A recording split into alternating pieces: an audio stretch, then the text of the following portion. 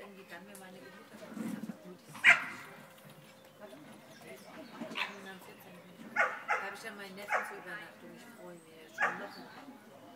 Fabian, ich habe schon zu ihm gesagt, gesagt, Fabian, du schläfst beim, beim Julian, der Marek schläft allein bei dir. Ja, auch nochmal denn. Weil der Marek hat wieder runter. Er steht, er steht.